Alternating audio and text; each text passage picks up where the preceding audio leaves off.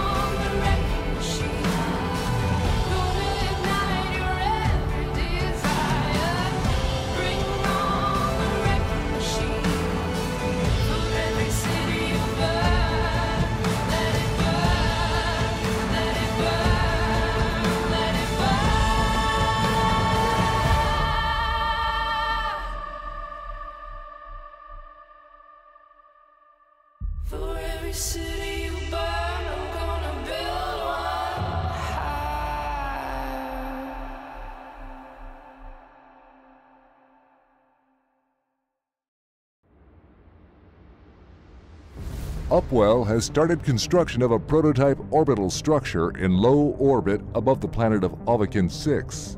No specific details have been released regarding the purpose of the structure. However, Upwell is extending an invitation to capsuleers offering rewards for the submission of rogue drone related materials. The drone graviton emitters can be obtained from rogue drone anomalies and signature sites within high security space. Additional drone-related materials that are required can also be collected from sentient rogue drones, or possibly purchased on the regional market. The materials need to be handed in at the Upwell construction facility at Alvacan 6. In recognition of their contributions, capsuleers are awarded Upwell Consortium loyalty tokens. Moreover, participants stand a chance of receiving new blueprint copies for Consortium tractor beams and a Consortium mobile tractor unit as additional rewards for their efforts.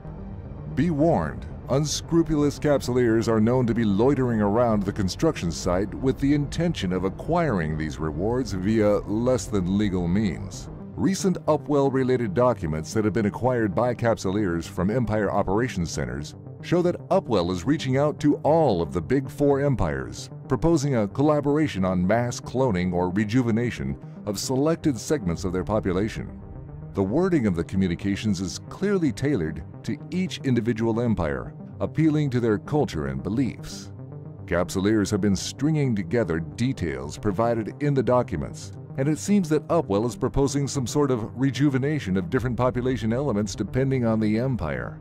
What the purpose of this proposed mass cloning or rejuvenation project is remains hotly debated.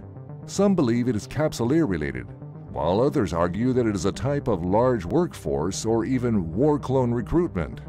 Perhaps it is a countermove to the recent appearance of war clones known as Vanguard, developed by the Deathless. As the Upwell Consortium continues to push the boundaries of what's possible, we are left to wonder and watch closely. What are they planning? And more importantly, what implications will this have on the near future of New Eden? This is Alton Haveri, reporting for the Scope.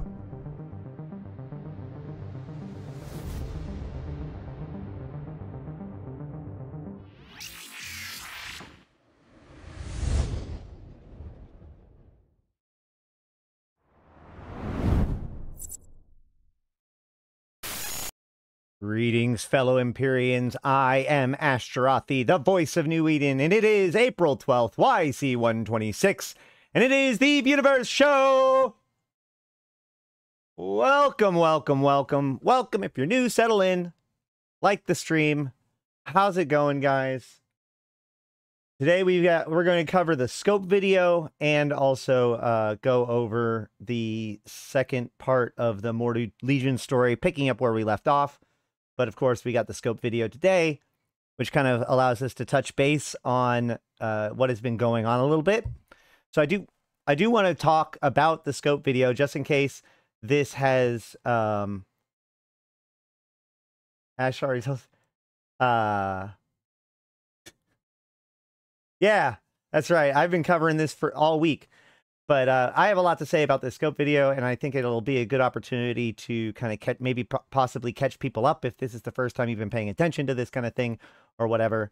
Um, yeah, so let's just jump into that. I, actually, before we do, I do want to say thank you so much to uh, V-Rod for the gifted membership in the beginning um, uh, before the, I began. I do have a, I am very excited to announce that I now have more members than I have ever had, I believe, which means I actually can have a new emote.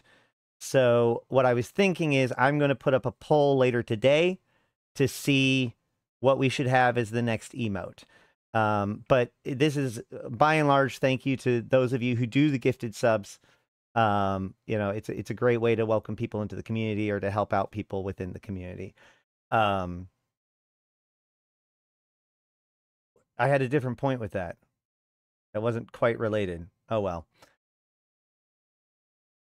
I haven't read the ticker yet. We're going to go over the ticker too. Um, yeah. So let's go ahead and jump into what happened to the radial pull.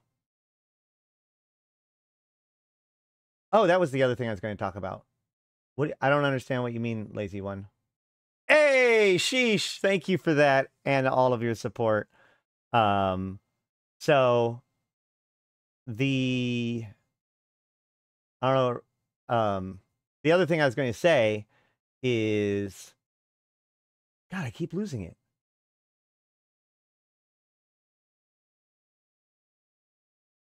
The ticker. Oh well. I keep being distracted. So let's see if I remember it later. All right, scope video. Oh yeah, radial menu usage. Thank you. That's actually what I've been trying to remember again. Thank you, lazy one, for keeping me on track. Uh, yeah, we could talk about that if you want to. Um, I've, I, it was more just an entertaining thing. Um, I plan on doing more of those kinds of things just to kind of engage with people. But a whole lot of you responded. Hold on, let me see if I can pull up uh, that.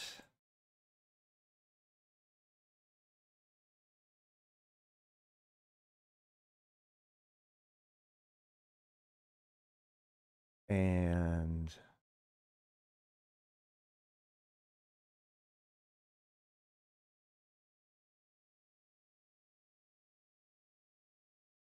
yeah, so uh, it appears uh, that about half of you, uh, and I, we got 225 responses, which is why I kind of want to do more of these now because you know, if I'm getting this many responses, I think that's actually kind of cool.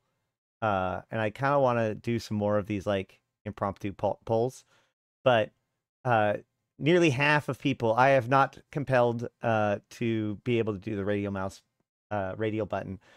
Um, and the rest of it, actually, this is pretty close to what I would have expected, just based on the reactions I get from people um, who I try to convince to do the radial mouse button. You know, I'd say about a quarter of them are already using it on the left mouse button and they're stuck in their ways. Half or over, I, I'd say that over half of them actually are um, uh, reject it outright. Um, there's always at least somebody when I'm telling somebody to move it to right mouse button. There's always somebody in the audience that's like, I use left mouse button. It's great. Um, and the middle mouse button, those are for true rebels who have thought about it a little bit. You know, those are kind of pretty rare, but I I commend them. I usually actually use my middle mouse button for broadcast radial menu when I think about it. So yeah. Um there's that. Back to what we were looking at. What were we looking at? Or was it? Uh-oh, where is it? Hold on.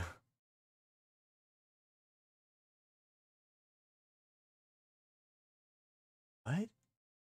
Where did it go? Oh, there's so many more tabs. I have so many tabs. Hold on. There it is. Okay.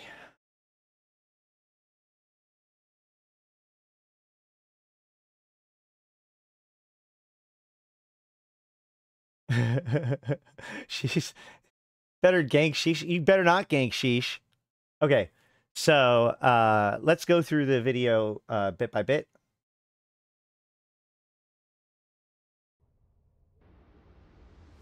Upwell has started construction.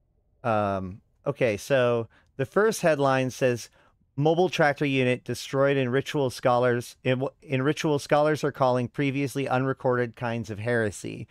Uh, this is a reference to the um, the post about the very first um, of the Upwell consortium mobile tractor units being sacrificed to Bob in wormhole space, uh, and then making a big deal about Construction that. of a prototype or Uh, President Aguard praises Upwell's innovative use of technology.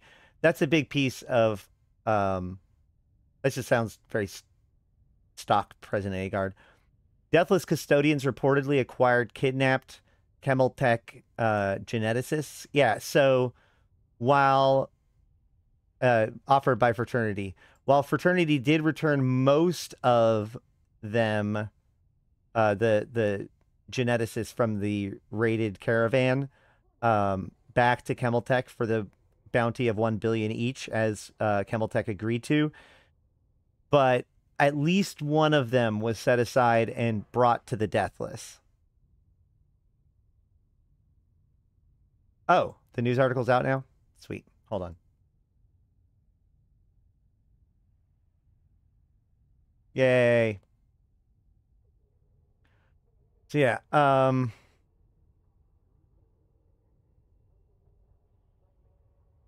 Yeah. In talk well, this is all out of order. But uh, one trillion ISK worth of assets destroyed in Capsuleer battle in Abazon Genesis. Yeah, huge battle over a Fortizar happened uh, recently in Abazon. Fears of mass hysteria and belief of a secret wormhole conspiracy theory on the rise. Yeah, this is the thing. Like I keep seeing little bits about this wormhole war. Um, I have been asked about it. I was told it was kicking off. I I have no comment until so- I I have feel like I have any kind of idea what's going on. Uh, tribal council review Upwell leak in rare public session. I find that interesting because like, so this leak was found in operations center comms stations in faction warfare space. So it could just be that it was like a security violation that this was something being, uh, you know, sent around top secret, and we grabbed it along with a lot of the other stuff that we grab. Um, I find it interesting that the tribal council is the only one that are actually like acting on this, and I think this is important because since Upwell sent out negotiations to all four empires separately and distinctly from each other, I think it's worth assuming, or like it's worth watching how each empire individually reacts to Upwell's decisions, right? Because the Caldari have clearly they have a strong tie with Upwell, and they've been one of their bigger uh, supporters in this, er, you know, new transition.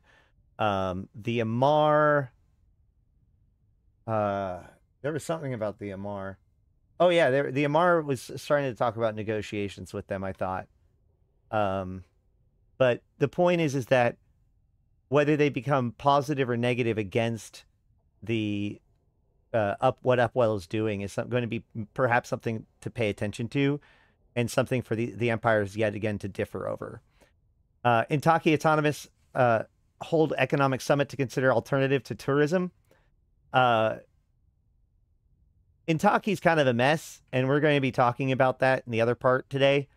Um, but if you're in a Gallente station, you can hear an advertisement for Intaki virtual tours, because the problem is is that the Intaki used to make a ton of its money from tourism.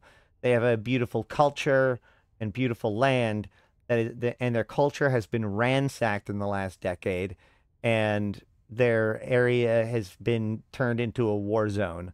So um, they don't have any real tourism anymore. They only have virtual tourism. So, you know, that's a problem for them. And then, yeah, that's all of them. I am one of the Wormhole Alliances attacking Lazerhawks. I can tell you all about it. Well, not today, but if you hop on the Discord, we can chat. Uh, a semicolon should be after ritual and before scholars. Mobile tractor unit destroyed in. No, the, the problem is there's no what. Mobile tractor units destroyed in what ritual scholars are calling previously unrecorded kinds of heresy. The problem is is that it sounds like it, it sounds like the the ritual scholars are what the thing's being destroyed in instead of the ritual uh, scholars doing the calling. But then it shifts to the, the calling and there's no more noun. So if you specify that it is the ritual scholars that are calling instead of the ritual scholars being the thing that the mobile tra- tractor unit's destroyed in then it tracks. No semicolon needed Thank you for taking me down this rabbit hole. I'm sure everybody, pre- everyone thanks the lazy one. I'm kidding. All right.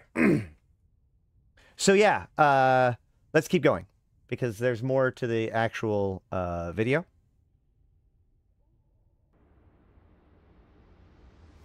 Upwell has started construction of a prototype orbital structure in low orbit above the planet of Ovikin 6. But that doesn't make sense either. That would have to be a mobile tractor unit destroyed in a ritual. Scholars are calling it a new heresy. Or scholars are calling a new heresy if you're making heresy the new the thing being happening.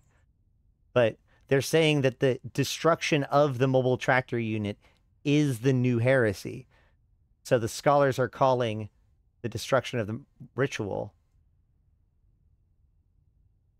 Yes, well, I, that's what I'm saying. Scholars, witch, or, or ritual witch scholars, or that scholars could be. It could be that scholars too. All right, nobody's here for this. We're gonna keep going. Uh, No specific details have been released regarding the purpose of the structure. However, Upwell is extending an invitation to capsuleers offering rewards for the submission of rogue drone related materials.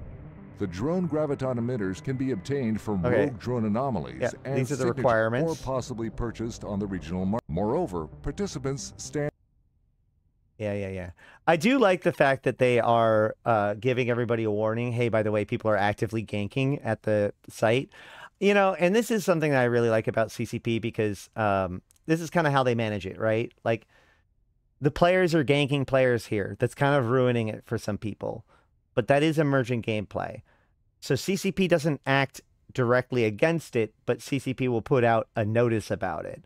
Uh, the same thing happened with the original Burn event, in fact. The Burn was kind of a big challenge to CCP to see if CCP would get in the way of their attempts to ruin the trade hub for an entire day. Um, and CCP just put out a Concord traffic advisory warning to everybody as they logged in. Uh, and, and that was it. That was, that was, I mean, because that's the in universe response to that, right? So I kind of respect that about CCP. But uh, the big thing I wanted to look at, though, is, of course, this. So these things are cool and interesting. So we've seen the, I've seen the one on the left before, but I haven't seen the one on the right before today. Um, if we look at the details on the thing, it says, wait, hold on. Because this says fe- feasibility in progress undetermined undetermined but the copy that i saw earlier oh man hold on. I just realized this is different than the one i saw earlier. I thought they were the same one. Now i gotta go check.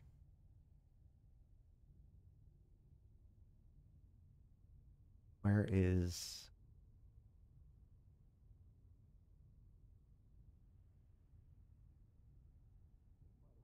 I love relying on the Eve subreddit. Where is it? Are you serious? I thought for sure somebody posted a video about it and then it was on Ark's Discord and there was a YouTube. Oh my god, hold on. This is Look, if this is your first time watching my show, uh this is why you watch it live, right? It's um You get to watch me mess up. All right. Do I have.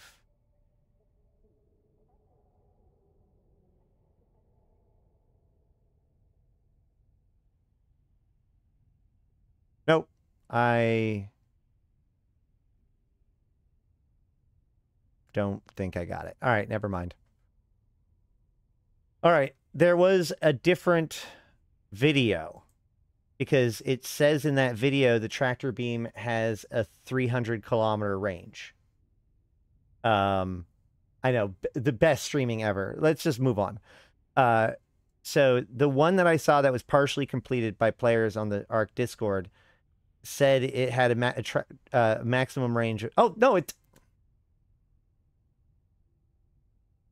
I apologize to everyone. So It does say 300 kilometers right there. It's just this more videos thing covers that up. So I didn't even think about that. Whatever. Okay, great. Fine. So what I think this left one is, what I think the left one is, is, no, it says it right there. It's right there. Uh, so what I think the left one is, is the capital tractor beam because that is the one that has 300 kilometer range, right? Hold on. Um,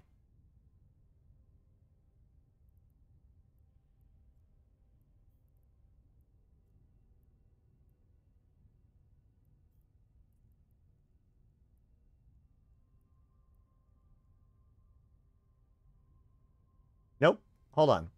What? Hold on.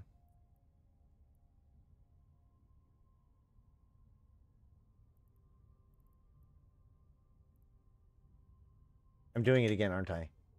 Hold on. At least I can show you this time. Hold on. A second. Optimal range 200. Optimal range 300. Wait, wait, wait. So it isn't the same.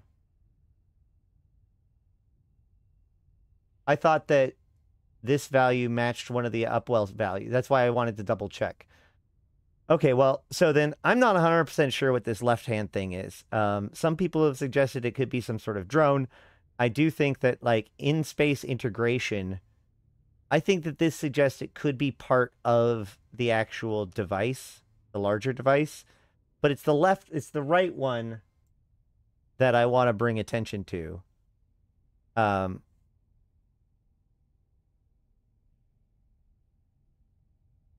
We get a good look? There we go. Nope, nope, nope. Don't you dare. So if we see these things go like this, all right, hold on. Never mind. I might be total. I might have to take back everything I've ever said. Um,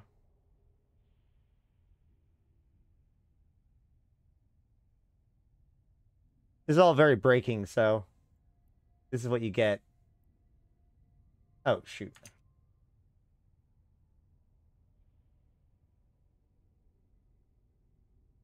If we look at the structure as it's being manufactured, we can see that it's like an arrow pointing towards the planet. I thought it was away from the planet. But now that I look at this closer live, you can see that the it's like an arrow that points to this long thing and then there's this piece, right? So if we go to the main one,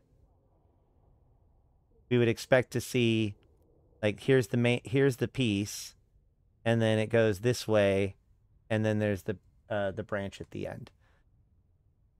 Uh I still think that this suggests it is this is I still think that this rec this hmm. I still think that this shows that this is the future war barge for Upwell, right? That this thing is the thing that will be hung in space to put troops on the ground and pull them up. Yeah. Well, it's a space elevator, but for what though? Like, is it going to be for PI? Is it going to be for something new? I think that this is going to be, at least in part, for Vanguard.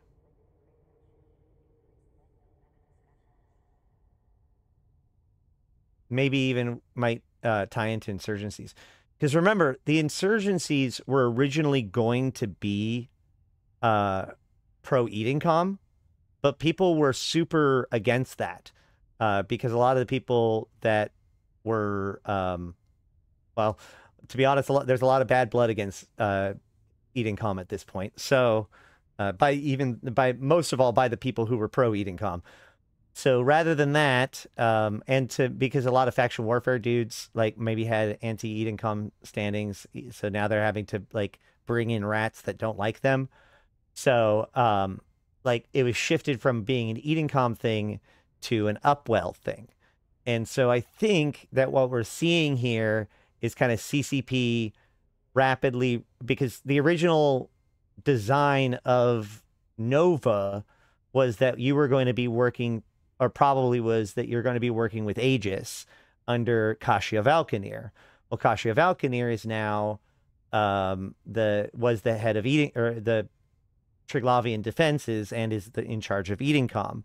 So she would have naturally been in charge still, but because Edencom isn't trusted anymore by anybody, both in game and out, uh, instead it's basically being shifted over quickly to um, the Upwell. You can see this actually best.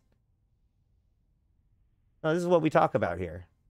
You can see that best because this is important. This is about the future too. Um, actually, I'm getting to a prediction, so don't worry about that. Uh, if we go to how do I how does her name get spelled? Yeah. So when the insurgency rats uh, first started spawning, like the extra ones, and they were dropping the stuff that can be turned into the laundering facility. These, this is the specialty item that you can get. The officer mod is Kasiha's Val- uh, modified Vorton tuning system, which would mean that like Kasiha Valkyr is the officer that this is tied to, the head of Edencom. But they're now Upwell guys, and you turn it into Upwell, and yet it gives you this uh, this Vorton tuning uh, thing. And the reason why that is is because again, at that point it was like at the eleventh hour they switched it from Edencom to Upwell, and so this is like one of the last reminiscences of it. But in tune with that, they also introduced consortium weapons. So they have the consortium Vo- Vorton protector, consortium Vorton tuning system. So while they they didn't have an officer to replace Kasiha, they still um, they changed the faction, or the faction is consortium. And now we also have consortium tractor beams and consortium mobile tractor units. So what does this look like to me? This looks like they're filling out a future consortium LP store. That's all I'm saying. Or some sort of like loyalty system. Like an LP or reward system like an LP store. See? I got to the future. There's a method to that one.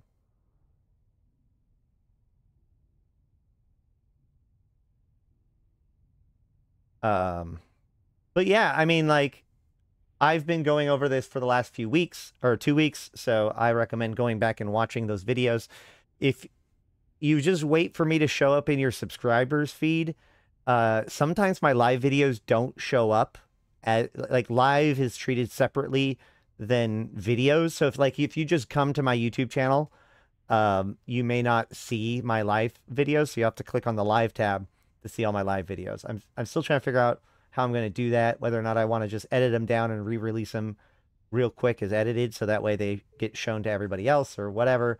But in the meantime, uh, make sure to like the the the video and comment and share it with a friend so that way you know we can get some engagement because the the the live streams uh, archives don't get treated the same as normal videos it seems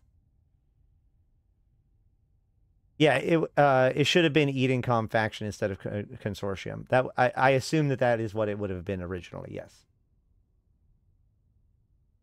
Uh. But yeah. The thing is here is that like what gets me is how close this looks like to the shipcaster. Now, I don't see a place for the like science balls to go, but if you not the shipcaster, but like the um the end point of the shipcasters. But at the same time, if we know that there's like this is personnel, the thing is is that like here's the thing this, this is what got me is that this piece of it man like hold on in this picture it doesn't extend much further past like a little bit and then around like a round part right actually no it's not even a round part so it ends basically where these two arms finish off, right? Shortly thereafter, certainly after the um this slotted one. But if we go back and look, we can see that, like, by all rights, right here should be its end if it's going to build out that way, the way that we would expect from the diagram. So, what is this thing? And is it like tied to the Asbel at all? You know? Um, because these are modular pieces. I don't know. It'll be interesting to know, or it'll be interesting to find out. We'll keep watching on it, and you can uh, keep checking out the channel and subscribe to the channel. Uh, we will cover it as soon as it breaks, or be on the. Uh, actually, if you really want to be on it as soon as it breaks, you want to be on my Discord and our Arch Discord because that's where things actually break. Just in case I can't get to a show in time. All right. Anything else?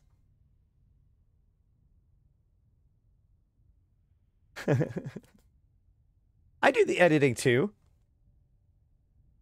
Danny works on the bigger projects. I work on like the chop shops. All right. Um By the way, I have uh peppermint tea today with a string in my mouth uh to help my throat. Let's hope my throat keeps up today. Like it was bad last night, so let's hope for the best. I really wanted to be able to finish this this weekend, so let's go ahead and get uh, started, shall we? When we last left our intrepid heroes, our merry band of legionnaires, uh, this was happening. Um, you know, if we, uh, just in case you missed it,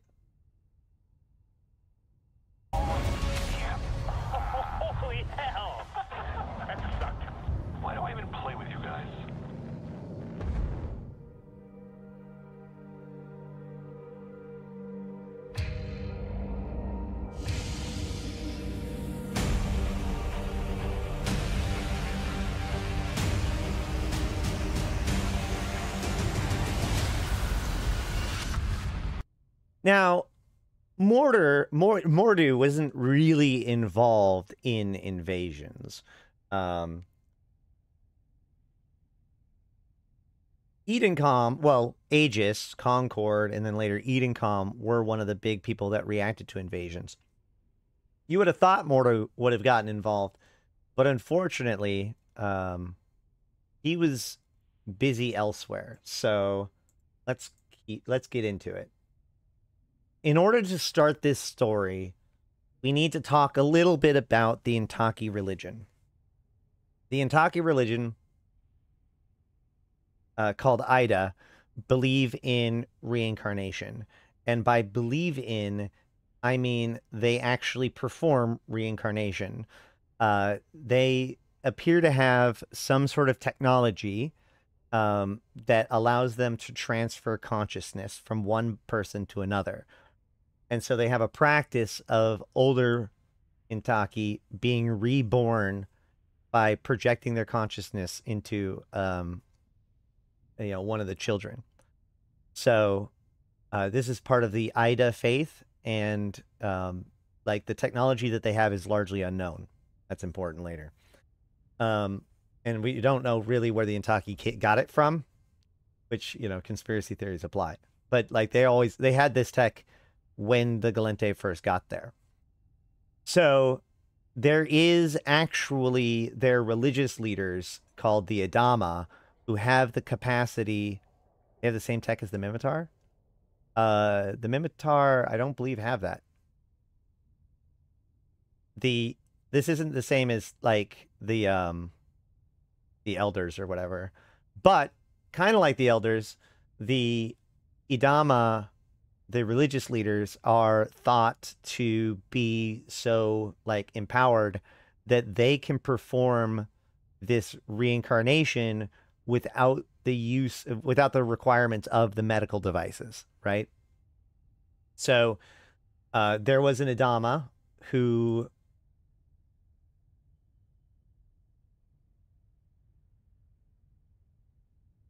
there's an adama that was had disappeared for quite some time uh, that showed up here. So let's just read this.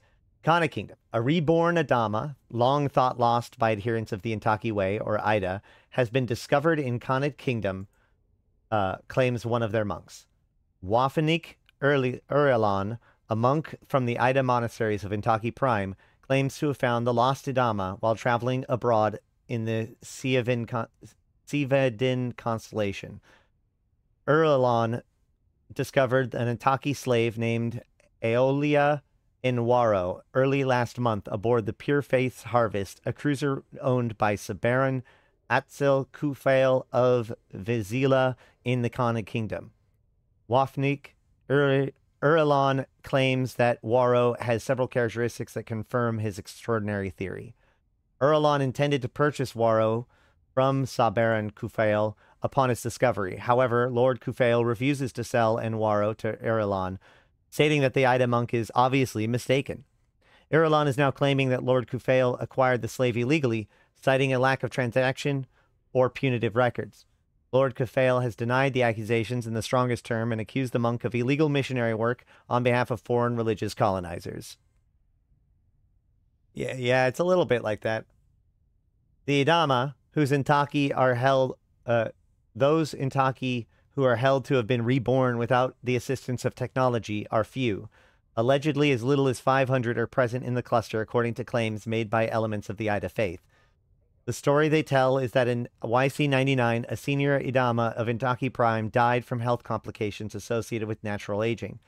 Prior to her death, the Adama left a letter explaining that she intended to be reborn in a distant land, far from Intaki Prime, supposedly in order to learn the plight of those beyond Federation borders. Despite numerous physical descriptors of the person she would be reborn as, the Ida faithful were una- apparently unable to find her, and the search was eventually called off, with the Adama lineage declared lost. It came as a great surprise for the Ida monasteries of Intaki Prime when Erelon claimed to have discovered the lost Idama. Recounting the lost Idama's prophetic letter, the Ida monk claimed that Enwaro showed all of the prophetical uh, prophesied physical characteristics, including a birthmark along the collarbone. Erelon attempted to purchase Enwaro from the holder in an effort to bring her to Intaki Prime in order to conduct extensive testing to confirm her identity. Expressing the value of Enwaro, a secretarial aid to his holdings and activities, Lord Kufail has explained to ACN that the alleged missionary proclamations brought Enwaro considerable distress. Aeoli- Aloya fitted with a transcranial microcontroller in the Kingdom Manor, was unaware that she was even a slave, and states that she has no recollection of past lives. As a result of Irulan's persistent questioning, the Sabaran found it necessary to make changes to the microcontroller in an effort, effort to pacify her. Having returned to Intaki, Irulan claims that he that he conducted an investigation into Lord Kufail's acquisition of Enwaro. The Intaki monk says that Enwaro is a, ge- a generational slave, but alleges that there is no record of lineage or prior punitive measures that led to her enslavement. In addition, Erelon is now making a claim that the holder obtains and replaces slaves inordinately cl- quickly. The Ida monasteries are reported to have initially expressed skepticism, but now they say they have been convinced by Erlon's research. The Ida leadership has since announced their findings to the Intaki Assembly, seeking action by higher, higher authority within the Gallente Federation. Khanid Kingdom authorities have dismissed any possibility of infringing on the rights of Sabaran Kufail under pressures of Gallente interference based on blasphemous nonsense. The court chamberlain's office has confined itself to noting that the matter is within the authority of the royal houses of the Khanid Kingdom of the Empire. All right. So, well, yeah, everything the Amarr says is a bit rich. So, in 2018, before uh, we we left off, um, August, so almost six months before we left off, the lost Adama was found, right? Then there were attacks aboard Ren Station. Uh, Amarr and Khanid Holdings were attacked in chemical and viral bombings. Um, and the attack on Kaha with this is a series, basically a series of death glow attacks begin occurring, striking at Khanid Kingdom areas. And then through all of this, like at the same time, two days after Kaha, which is considered one of the biggest uh, uh, terrorist attacks recently. Um, the uh, the Ida, the Intaki go and attempt to raid the uh, Khanid ship to free the lost Adama. They fail to capture him, but uh, or to to get the slave, but like Khanid is pissed because of this, and says the Royal Khanid Navy stated that, any and all attacks by Intaki extremists will be dealt with as piracy and met with the sternest possible measures. So the Intaki are, yeah, see, it says, additionally, we can now show that earlier terrorist attacks in Zirsem was carried out by the order of an Ammatar blood cultist working hand in hand with a Minmatar terrorist. After autopsy, it is several rebel operatives we killed were uh, addicts of the vile death glow drug, and the viral attack included components of the Insorum mutagen. So this we've covered this in other videos, um, but this was the death glow attacks, and the idea was is that the Intaki were working in coordination with death glow hunters and other and other operative, you know, Ammatar people within the Ammatar to make these attacks, um, which causes all kinds of chaos within the Amarr. But in the end, we see uh, sources in, Khanid, in Caldari state claim that Khanid Royal Commodore Arez Nomaria has met with rep- representatives of Intara Direct Action and Onikanabo Brigade PMCs with a view of securing their services to, for counter-terrorist operations. And I can't, I mean, like these names always come up together, and they come up, to, when they come up together, we think one thing Deathless, right? So, uh, Deathless is definitely has a finger in the pie here, but we're going to keep an eye on this Onikanabo Brigade specifically. So, um, from there,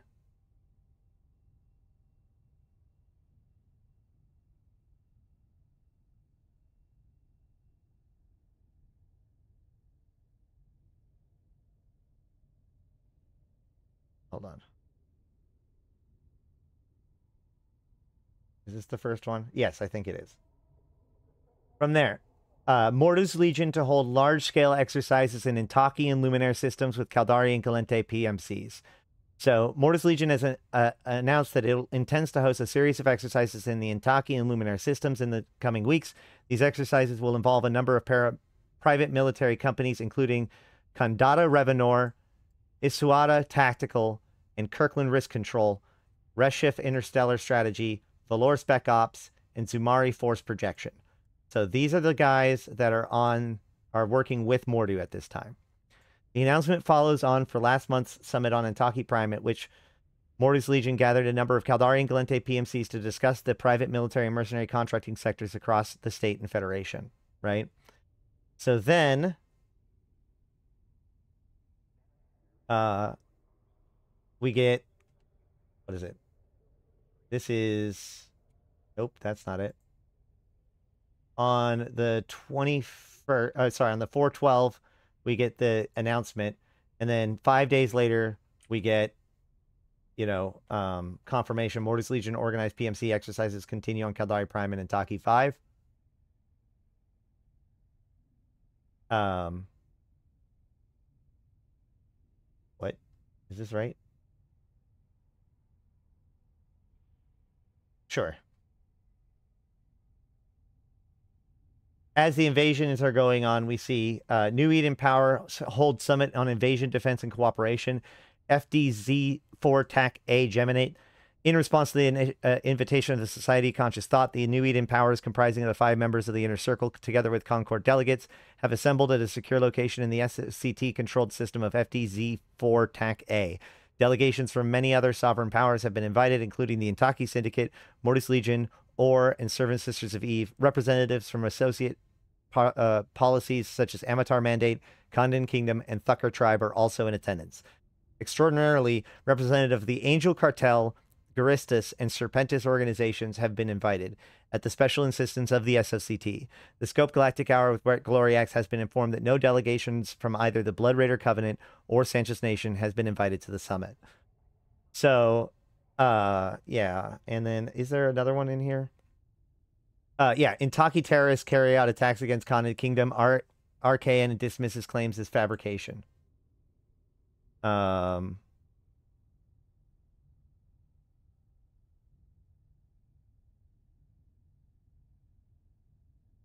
Federal state uh, Senate funds and invokes war powers extension of mercenary contracts in Luminaire and in Taki Prime. Okay.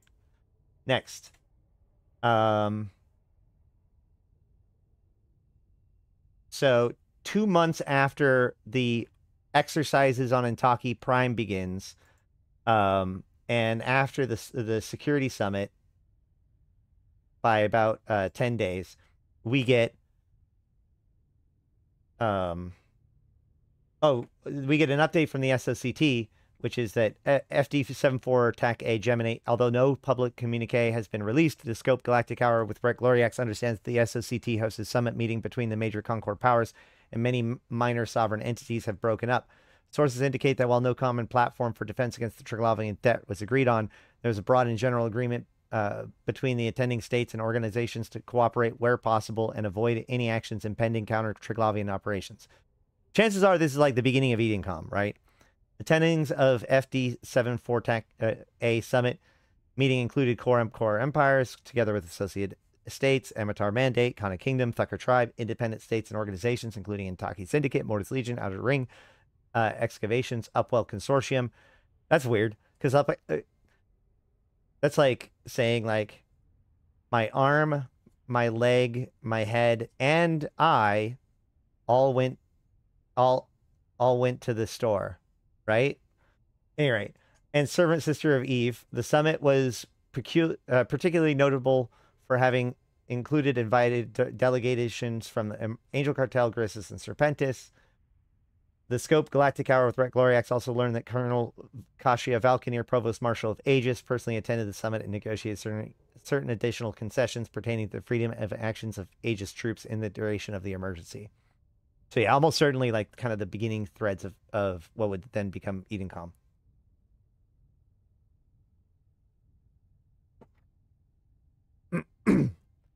but we have mercenaries clash on Intaki Prime. Onikanabo Brigade accused of desecration by Ida monasteries. So we have Onikanabo Brigade, right? Um, that is conducting operations in Intaki, but is this before? No, this is after. Okay, we're still not there. And if we remember, Onikanabo Brigade came from uh was one of the groups that the Amarr guy, uh, the Kana dude was talking to, right? That's mad at the Intaki. So then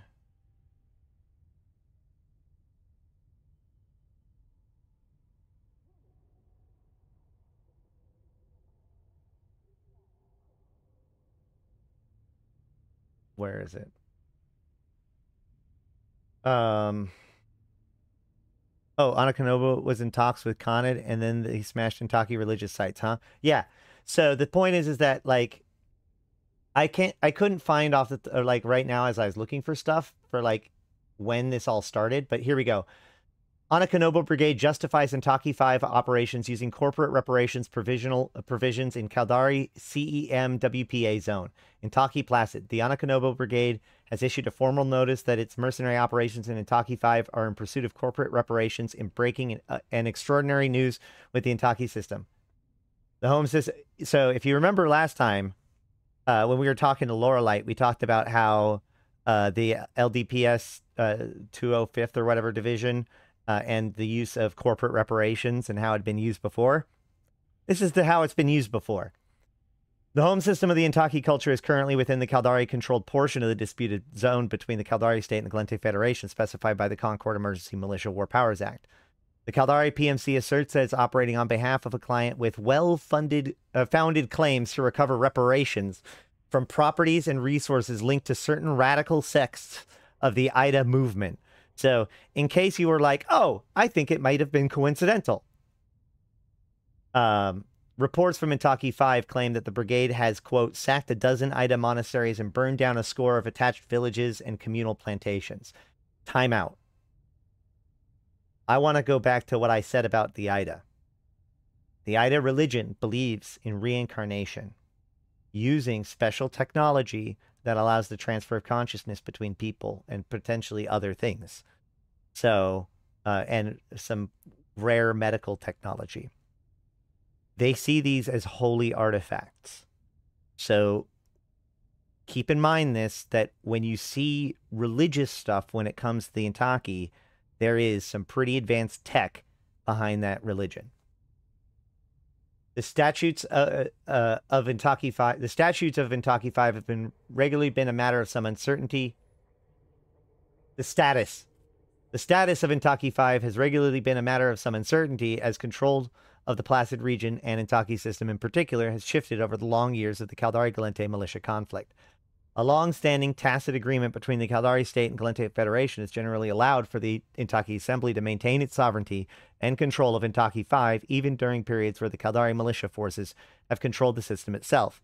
The Caldari State Chief Executive Panel, representing the balance of consensus among the Big Eight Caldari megacorps, has been content to leave the arrangements undisturbed since the fall of Tibus Heth Provist regime in YC 115.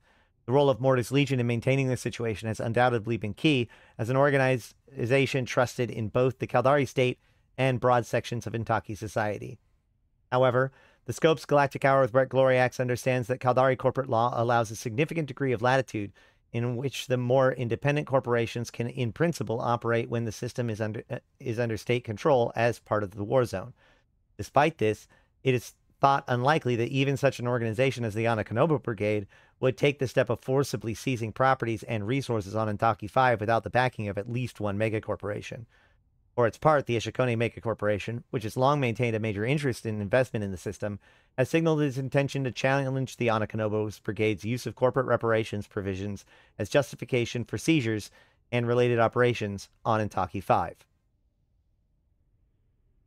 Uh, and that's it. That leads to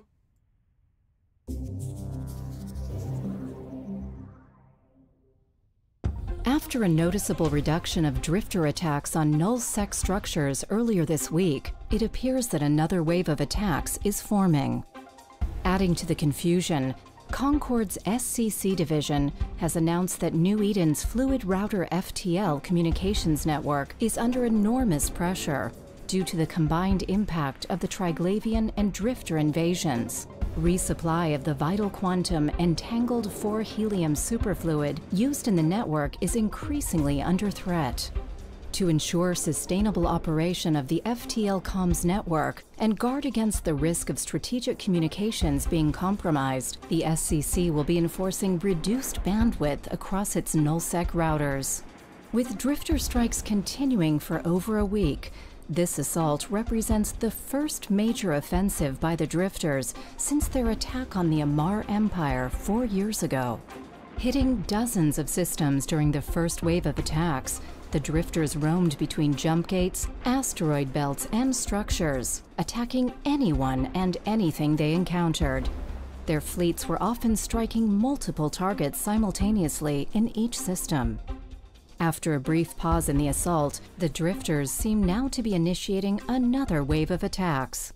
Not only are they attacking structures, but they also seem to show more focus towards hunting down and destroying individual pilots. It should be noted that drifters, if given the opportunity, will always mercilessly pod capsuleers. Taking both Concord and Capsuleers completely by surprise, the attacks have created considerable concern and confusion among the nullsec power blocks. Once the predicted local communications blackout is imposed, Capsuleer warlords will have to deal with the developing situation without intelligence gathered from automated registration on local solar system channels. Did you catch it? Did you catch it?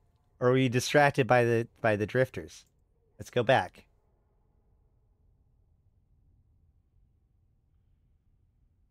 Where is it? No, it's before that, right? So here we go.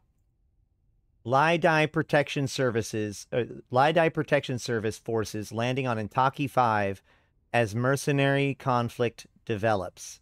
So now Lai Dai has sent their actual, uh, effectively their military, the LDPS, um, in to assist on a Onikanabo Brigade on Intaki 5. Mask is off and all that. let's let's just finish this one up. I like this.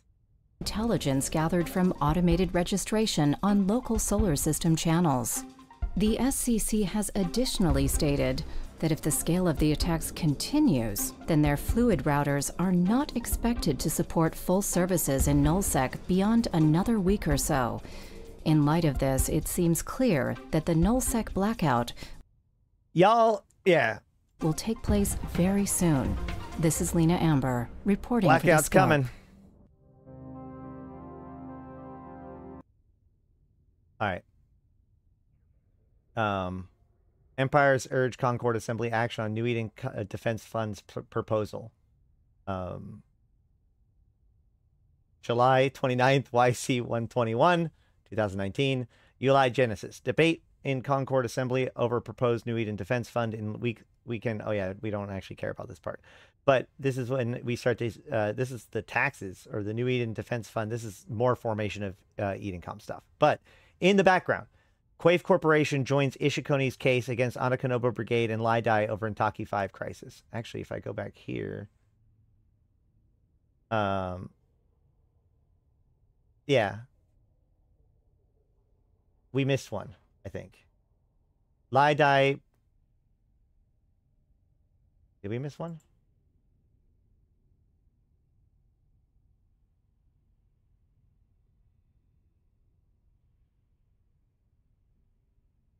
Either way, whatever.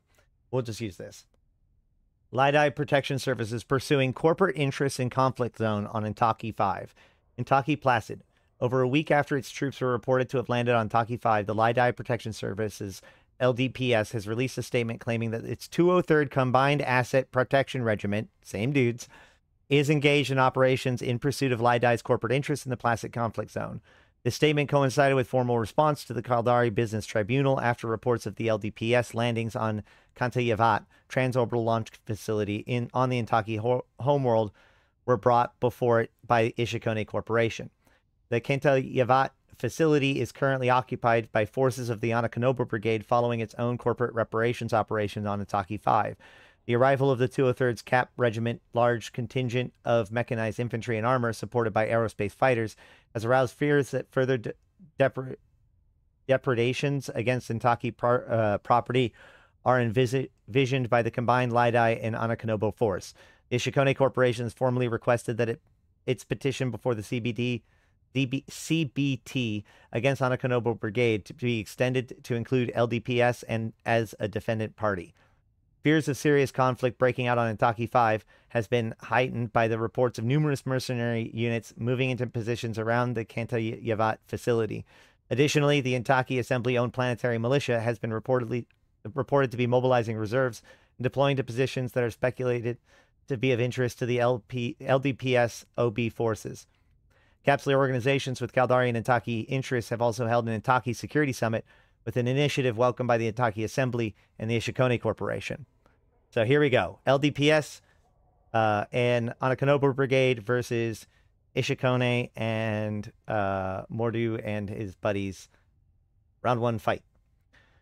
Uh, then a week later, or 10 day- whatever, Lai Dai Protection Services raid monasteries and medical research facilities on, on Intaki 5. So, once again, monasteries and medical research facilities.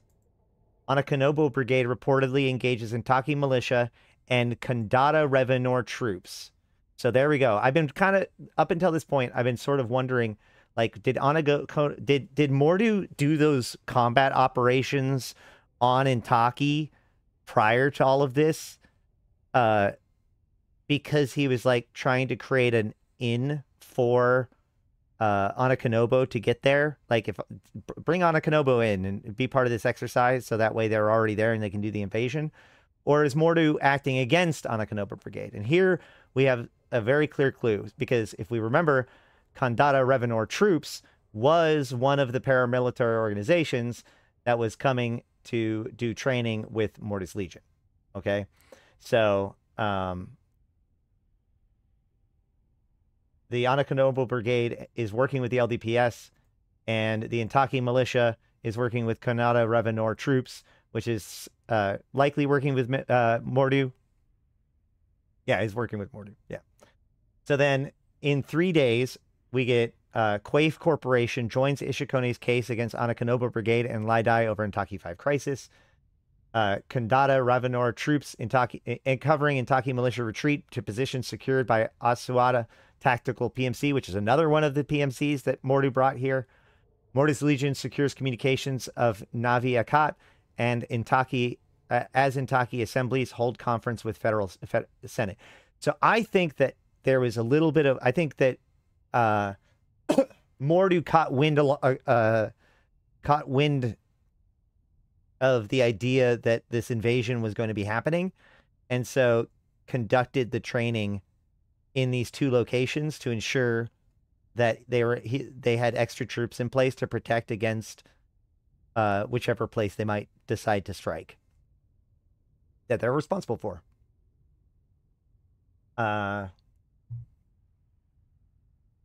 on August 1st, we have standoff in, on Intaki Prime as Lai Dai refuses to withdraw forces from key locations. Despite protests from the Intaki Assembly, Federal Senate, and Mordu's Legion, the Lai Dai Protection Services has refused to withdraw its forces from several locations on Intaki Prime. In illegal filings from the Caldari, in legal filings, I always read that one wrong uh, because of the in.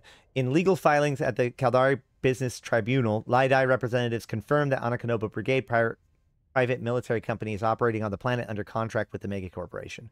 The fifth planet on the Intaki system, an ancestral homeworld of the large and influential Intaki diaspora, has been the scene of a low intensity conflict since the Onikanabo Brigade and LDPS began operations there almost two months ago. The threat of serious warfighting was at its highest levels when OB and LDPS forces broke out of fortified positions at the Kenta Yavat transorbital launch facilities in the foothills of northern Akat Mountains. Their subsequent sweep, sweep through the Ida monasteries and attached research centers in the region brought them into conflict with units of the Intaki Assembly's militia.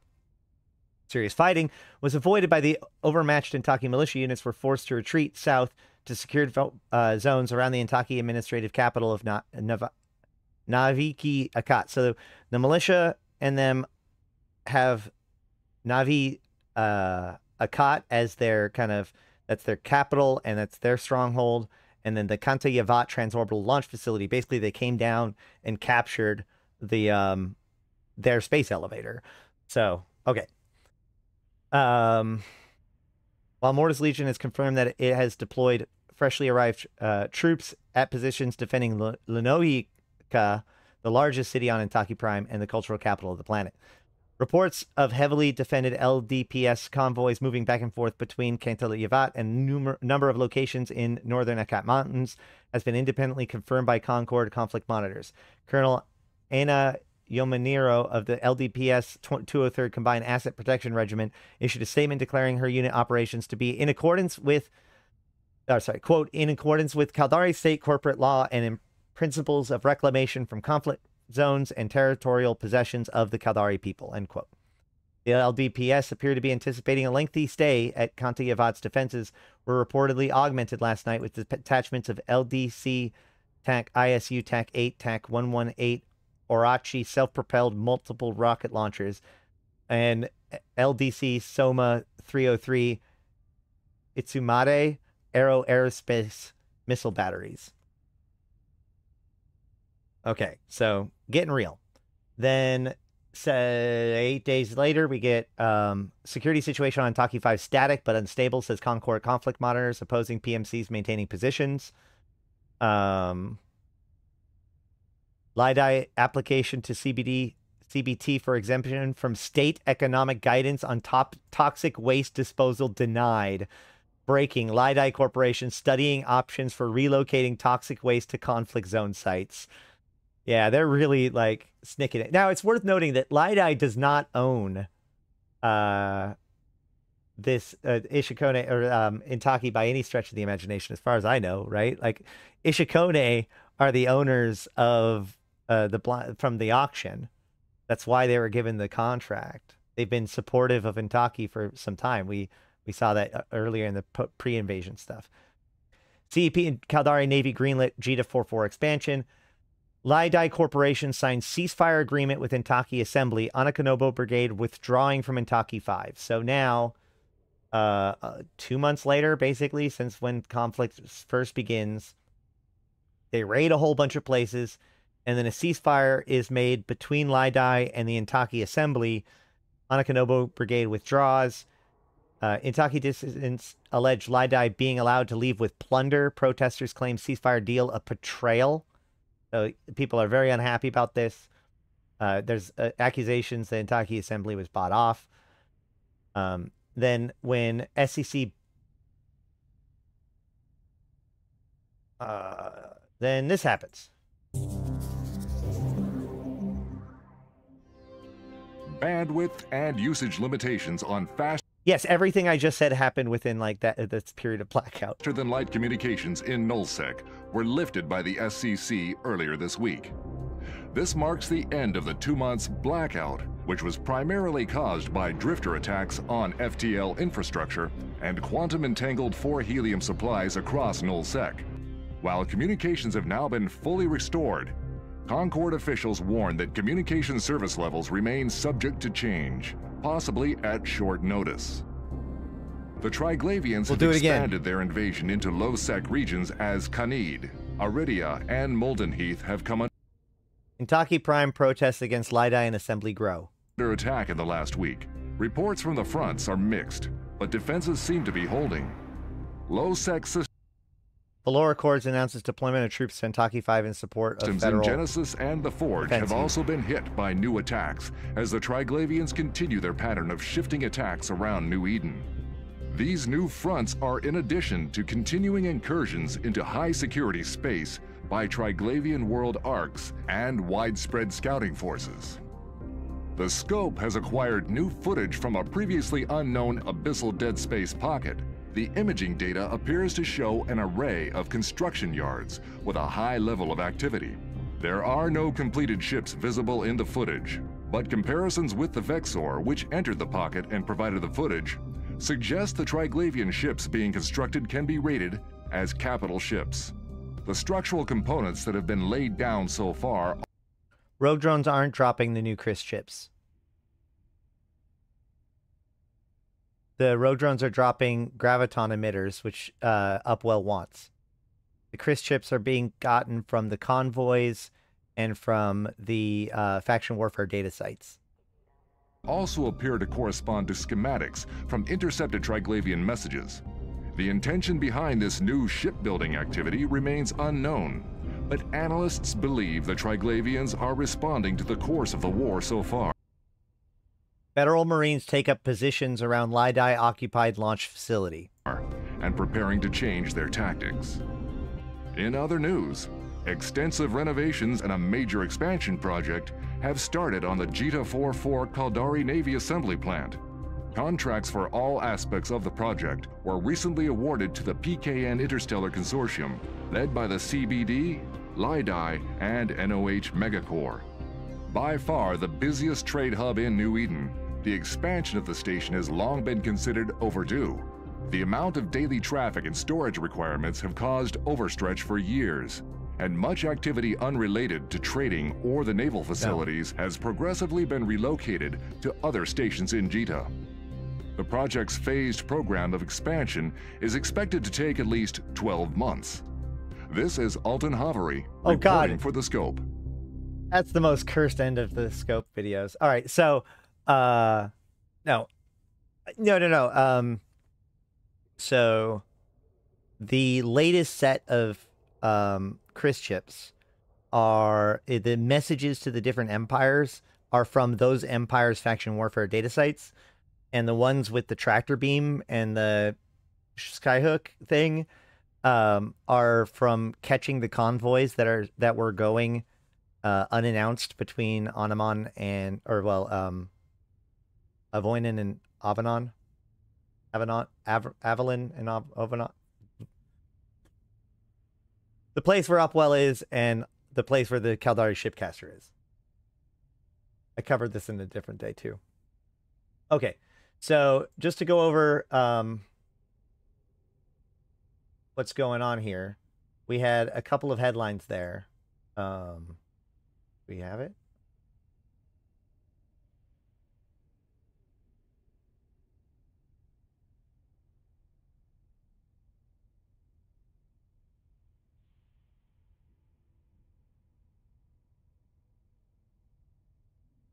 Lai Dai negotiates lease for Kanta Yavat transorbital launch facility with Intaki Assembly. Mordu's Legion confirms total withdrawal of Onikanabo Brigade forces from Intaki 5. So that's on the 16th. Um, the. I thought I had scope videos in here too. Darn it. Hold on. When was this? It was September? Oh.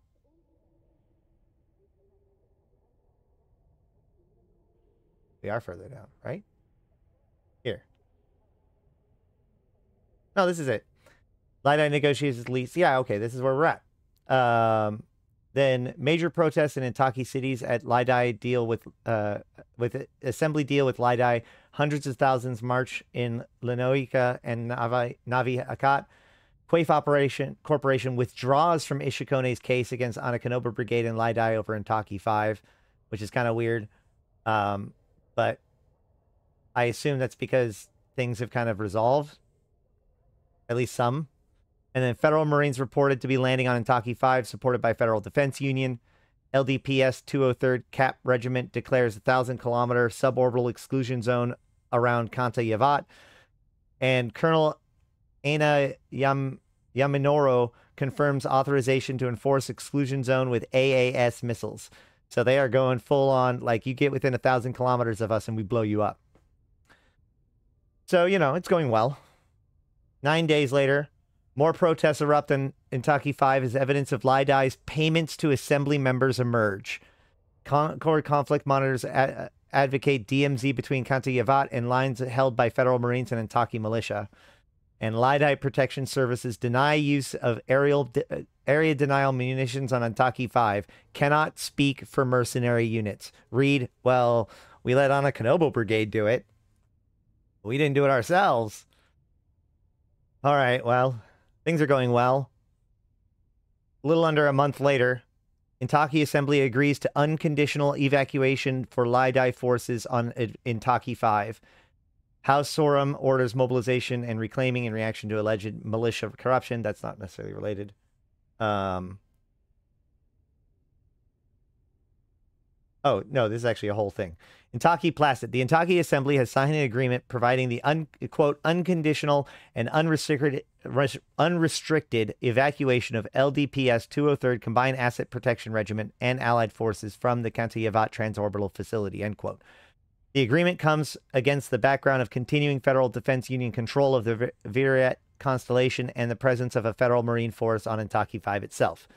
The Scope Galactic Hour with Brett Gloriax has learned that the agreement between the Intaki Assembly and Lai Dai includes an undertaking to provide disarmament codes for the extensive array of disposable autonomous defense denial and interdiction (DDA-DDI). Daddy, I'm not calling it that. That uh, systems that are have been seeded in a wide band of territory surrounding the transorbital facility. Reports from Intaki 5 has alleged that the DADDI munitions and drones have been responsible for hundreds of deaths and injuries since the 203rd Cap Regiment retreated behind the fortifications in, in Kanto Yavat. Lai Dai representatives have disavowed responsibility for the DADDI systems in the region and claim that codes were obtained through intelligence operations against independent mercenary groups. Desperate, uh, or sorry, despite the seemingly noble goal of ins- insur- uh, ensuring the disarmament of countless deadly and indiscriminate weapons scattered across the exclusion zone, the Intaki Assembly has come under repeated fire from protesters, non government organizers, and radical political parties over alleged payments made to Assembly members by Lai Dai.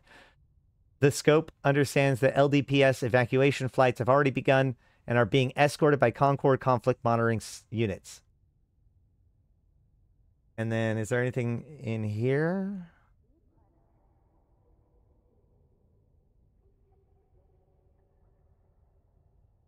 Rioting in Intaki five cities in Loi- uh, Lenioka and Navi Akat, Intaki Assembly House stormed.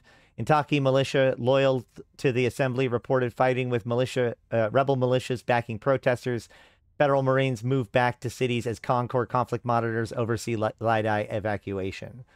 So this is all Galactic Tower, Flashpoint Diplomacy.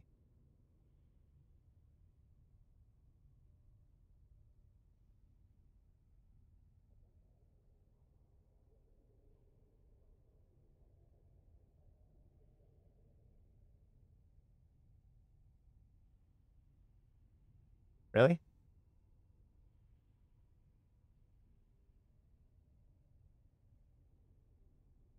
This one wasn't even in my list. Well, good thing I used this then. Uh, okay, so then two weeks later, we have uh, Geopolitics Wrangling Edition.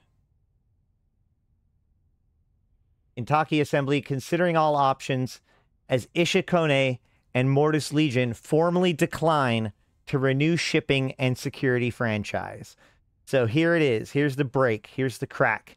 People ask, "Oh, well, why doesn't Inta- uh, uh, you know? I thought Mordu's Legion protected Intaki." Well, here we go. Intaki Placid. After two weeks of relative peace on Intaki 5, the Intaki Assembly has been meeting with representatives from the Gallente Federation, Ishukone Corporation, and Mordu's Legion to discuss the te- tendering and transition period for the Intaki Systems federal shipping and security franchise. While it has been much speculated on for months, Ishukone and the Legion has now formally given notice that they do not intend to seek renewal. The Intaki Assembly is understood to be consulting with the federal administration over stopgap measures in, sh- in the short term. Ishukone Corporation Counsel Majima Umaka says, quote, the Ishukone Corporation has long regarded our involvement in the Intaki shipping and security franchises arrangement as a remnant of a period where many mistakes were made. Ishukone Corporation is proud to have worked with Mordu's Legion to shield the Intaki people from the excesses of the criminal Heth regime and the brutal realities of warfare carried out by the so-called emergency militias. But there comes a time for all enterprises to reach their natural conclusion. Now is that time for Ishukone and our partners in Mordu's Legion in the matter of Intaki System SNS franchise. The latest news has unsettled many on Intaki 5, coming as it does so soon after an easy peace was established on the planet following the departure of the expeditionary forces of mercenary and corporate uh, security troops led by Lai Dai Protection Services. There are many units belonging to various private military companies remaining on the surface, although most of these are allied to Ishukone, Mordu's Legion, or the Intaki Assembly itself. There are also a sizable combined uh, contingent of Federal Marines and Federal Defense Union troops present on the major cities of Lonoika and Nava- Navi Akat. Additionally, talks are still ongoing between the Intaki Assembly, protest, or, uh, protest organizations, and rebel Intaki militia to achieve pr- peaceful disarmament and rebel uh, political amnesty. So, um,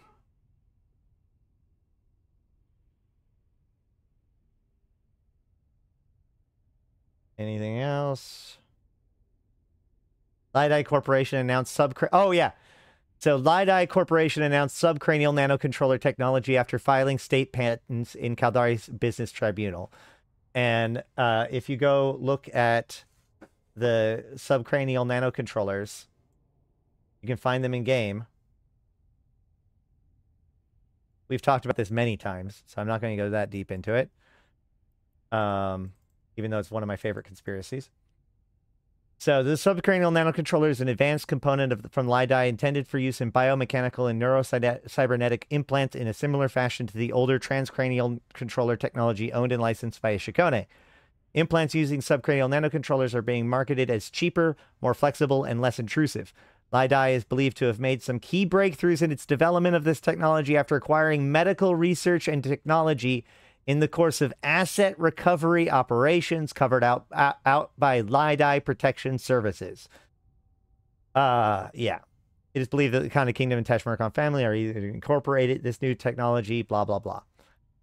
So, uh, yeah, that's why I kept on bringing up the medical stuff. So it's clear that Lai Dai uses what they found on Intaki to develop the subcranial nanocontrollers, which they then use to build uh, expert systems that we use today. Um,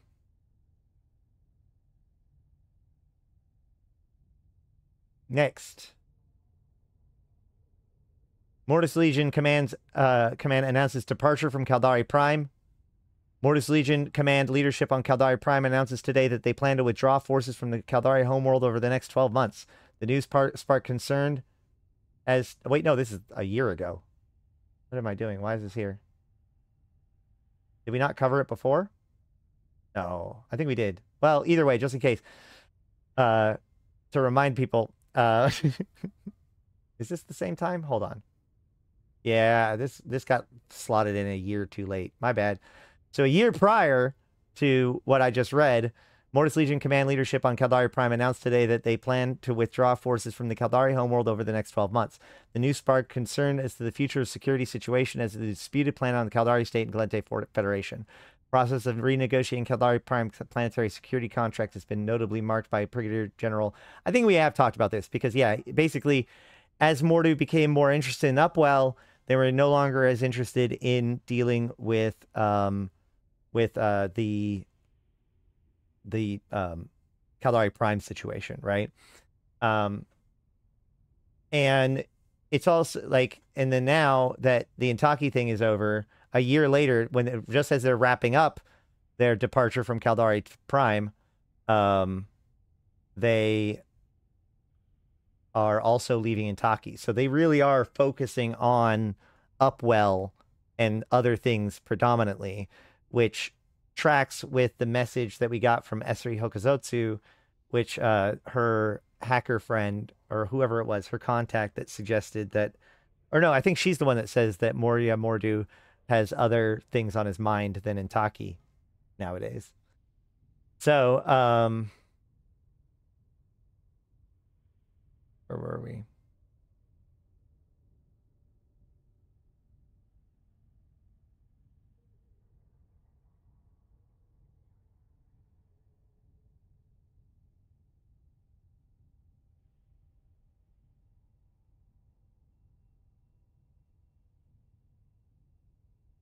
Let's see. Is there anything here? Just trying to check. Okay. So, oh, PKN Interstellar bid for security and shipping franchise and Intaki system described as bizarre and insulting by Intaki Assembly. PKN has a member corporation of Lai Dai, by the way. Strategically transfer a piece of equipment to an alternative location. Oh, asset recovery, acquiring by force, force forced sharing. Yes. Okay.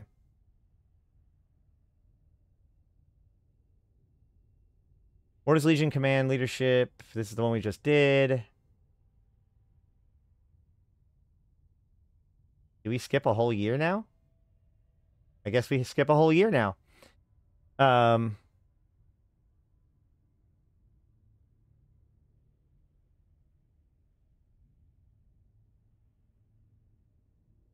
Oh yeah. So, you know, the pre- the election happens, other things happen, and then invasions begins to uh kick up also.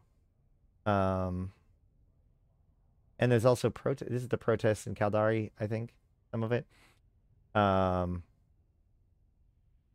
Mordu's Legion uh here we go. So what what has Mordu been up to, right? He just kind of No, Mordu has now uh, given up their contract for both um, uh, both their previous responsibilities, Intaki and Caldari Prime. And uh, a year later, we see our first inklings as to what he might be up to otherwise.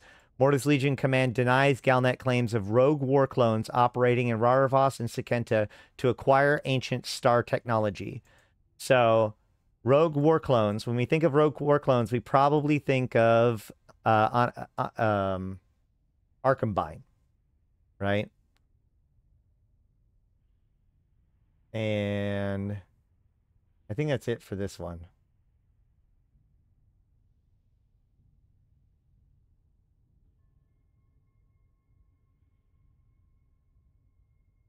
Let's see.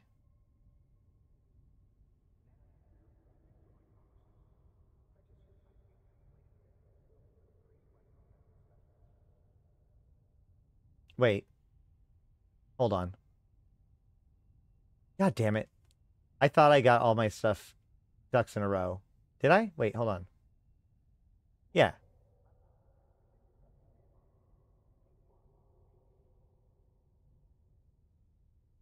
Twenty twenty two. Okay, so this is before. Right, okay, I'm sorry. So this is before that. This is before the election. I don't know why some of this is out of order. I apologize.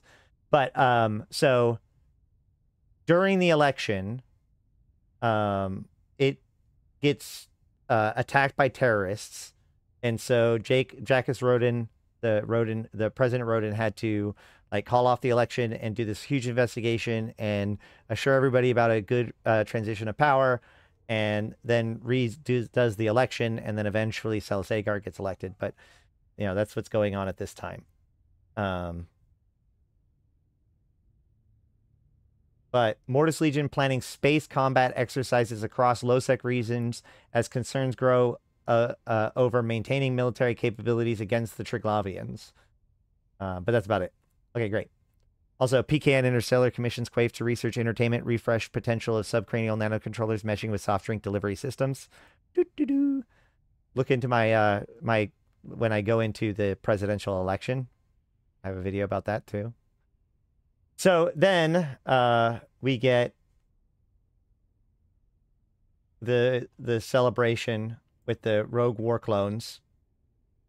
And then Mordu really doesn't get heard from again until invasion comes closer to an end. Despite an apparently lasting halt in major invasion operations by the Triglavian Collective, Edencom officials remain deeply concerned by this situation across the cluster and all forces remain on high alert. Edencom units have taken the initiative by carrying out monitoring and evacuation operations in the 27 systems under Triglavian occupation, often supported by loyal Capsuleers. Fleets operated by Capsuleers have substantially contributed to evacuations in systems as far apart as Vale and Skarkon. Triglavian resistance to these efforts remains high, and they continue to build up formidable defenses in the 27 occupied systems. Concord and governments across New Eden are urging the evacuation of citizens from those systems now under Triglavian control, even as New Eden's Stargate network struggles to maintain reliable service.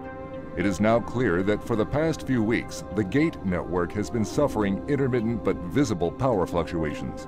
While Concord and Edencom had not commented directly for many days, the increasing frequency of the fluctuations moved the Secure Commerce Commission to confirm that it is investigating the situation as a matter of urgency.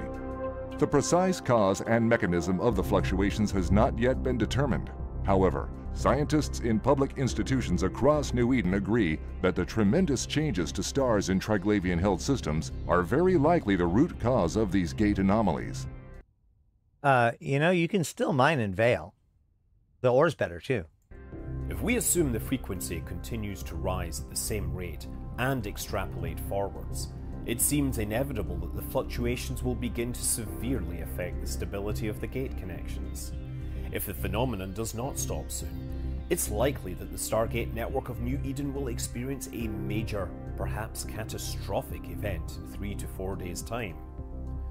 While the functions of Stargates, jump drives, and so forth are well understood in theory and practice, it should be remembered that there are many open questions as to the fundamentals of space time mechanics and dimensional interconnections.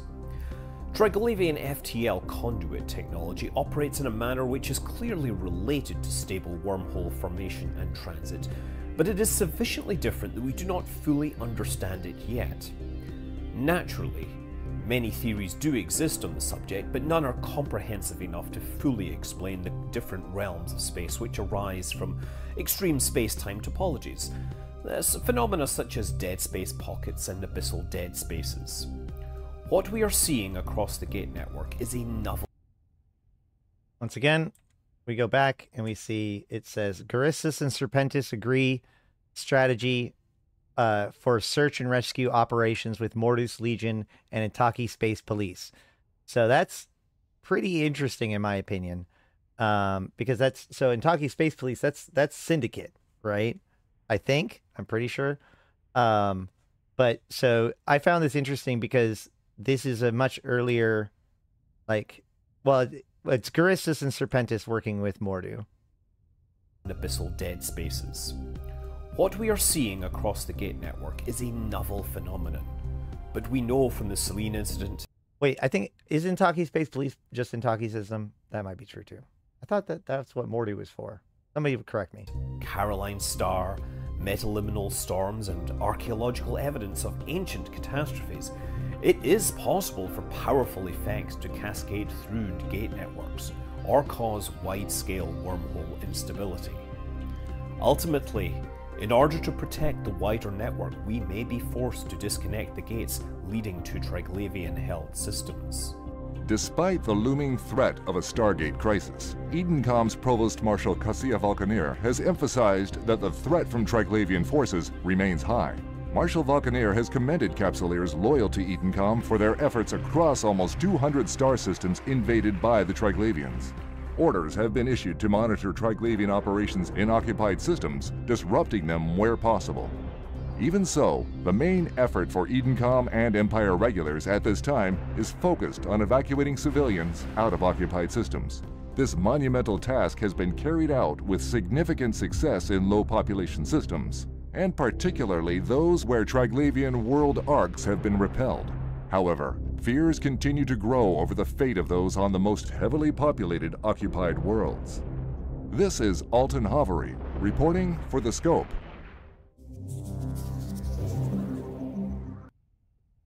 Okay. We already read those. Next. Uh December 11th, uh 2020, YC22, uh, 122 rather. Uh we see Cheetah launches Yule spaceship contest, blah blah blah. Um this is where there's um there was almost a suicide bombing that was prevented at the mining colony at Gita 44. Um, and I think it's down here, yeah. Intaki Space Police and new talks with this. Oh yeah, I guess okay. So Intaki Space Police is Intaki system. I'm dumb. Uh, Intaki Space Police and new talks with Intaki Assembly as Mordu's Legion symbol, signals intention to resume paused withdrawal from Intaki system. Um, and that's it for that one. And then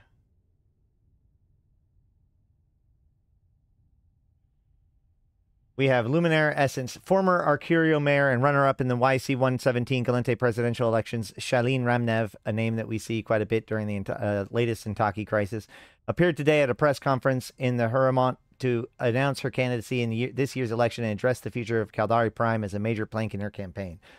Quote, I can confirm that I am a candidate for the president of the Gallente Federation, announced Ramnev. Standing here in Huramont and after my visit to Dear Arcurio, I can I see clearly that this great federation remains strong in its diversity, tolerance, and resilience. The healing of this vital world has been nothing short of miraculous, and I am proud to seek the highest office in a po- uh, polity that can achieve this. Now, though, it is time that the destiny of Caldari Prime is put into the hands of those who call it home. Chemney Ramnev continued. Mordu's Legion involvement after Operation Highlander was a risky but necessary choice, which in the end played out well. Mordu's Legion Command lived up to his reputation, and I, as a citizen of this planet, am very grateful to them.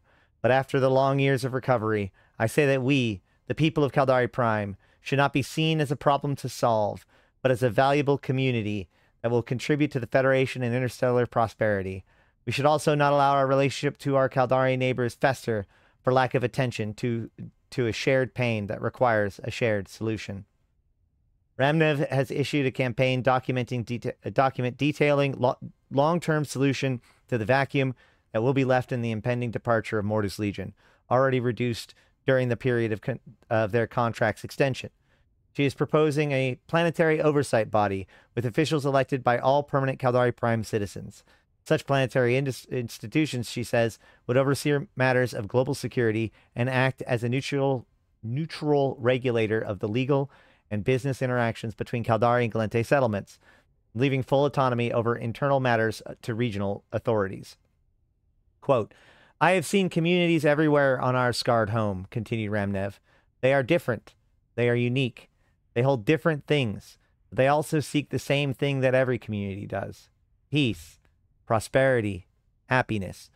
These are things that no one can reach if anyone or if everyone seeks them only for themselves. Now is the time to search for them together. Our federation is never at its best when it directs the many people of our union. Rather, it reaches its heights when it aids the people, in their quest for liberty and self determination of their home communities. Providing the aid that is needed without demands for political conformity shall be my guiding principle as president of the Gallente Federation. The Scope political anal- analyst Reynard Colston agreed that Ramnev's, Ramnev's pitch is, quote, a clever message that may well appeal to communities across the Federation, such as the Intaki Homeworld and Yinmei Autonomous, without seeming false or artificial given her history and direct anchoring with Caldari Prime's situation.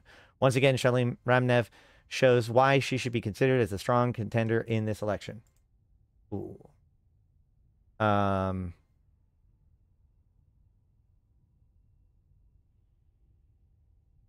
Did I say she? Did I not say she? Whoops.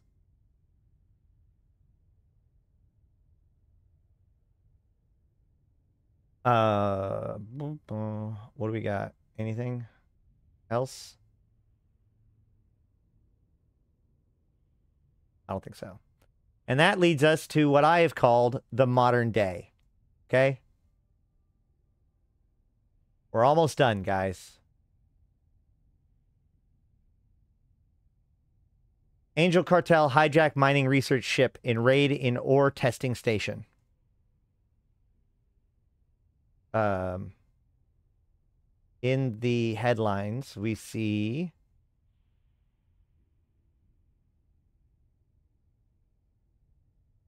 where is it? Don't make me control F. Okay, fine, I'll do it. There it is. I guess. Oh, never mind. It is in the thing. Right, because ORE is with Mordu. Right. So remember, ORE is a member corporation. So we'll just read it. Uh, actually, uh, should I just read this section? Let's just see.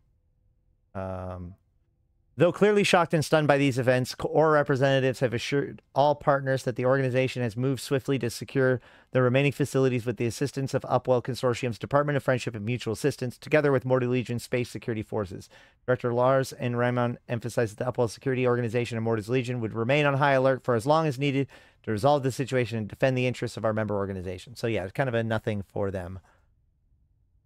Uh, this is long after they. This is actually way we they crashed the the Titan in like last episode. Um, so then 2003. So we're now in 2003. Um, March 17th, 2003.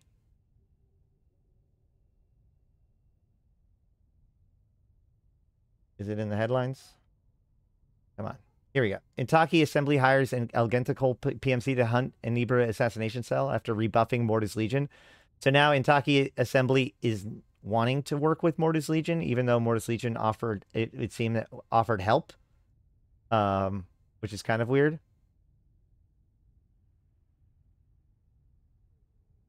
I mean, it just shows how far they've they've soured, right? Yeah, that's it. And then comes actually before that, let me do one more. Hold on.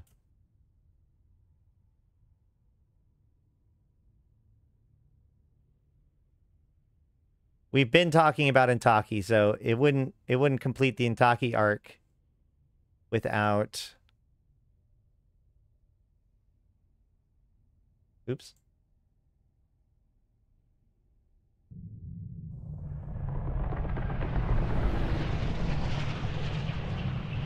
Y'all ain't tired of this video, and I know it.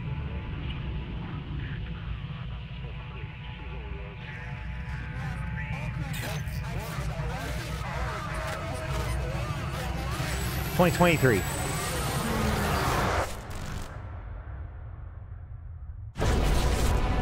The region is still coming to terms with the catastrophe in the system of Turnur, with devastation on a staggering scale. Initial estimates of fatalities are reported to be in the millions, with complete loss of life on Turnur 1. Evidence points to the catastrophic failure of the Amarr-built stellar transmuter, sparking condemnation across New Eden. Further increase in tensions between the Minmatar Republic and the Mar Empire are now at breaking point, witnessed by a sharp escalation of skirmishes. Diplomatic negotiations between both sides have all but collapsed.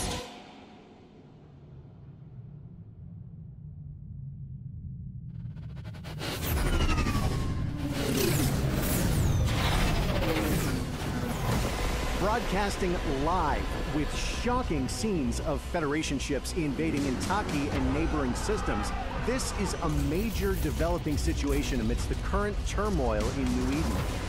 My fellow citizens, the time has come for the Federation to rise and liberate Intaki to recover what is ours. These worlds and the people of The Caldari state are being slaughtered in this outrageous invasion. We stand ready to confront any aggression against the state. And the combined military of the Minmatar Republic will repay our enemies in kind for this mass murder. For it is the sacred obligation of every subject of Holy Amarr to reclaim the stars and rise up for your empire. Okay, so uh, the empires basically descend into war, um, which is great for everyone involved. Um, but we don't actually hear very much from Mordu during this time. Okay, um, but we do hear from Deathless and other things like that, which of course leads to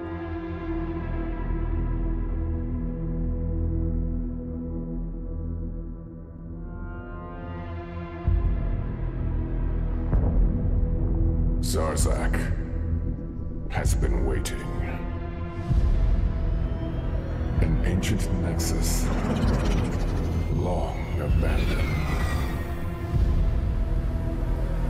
Now ruled by the insurgents. The fearless. The deathless. Trust is rare among our kind. Yet here you are, compelled by my invitation. I offer you a haven, a fortress, hidden from the Empire.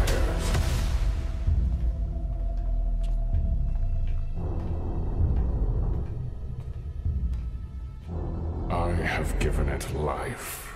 It feeds on me. And in return, it yields knowledge, gifts, power. Prepare your forces for chaos on the front lines. Harness the might of Capsuleers with the promise of riches. And together, we will unlock Zarzakh's secrets. One by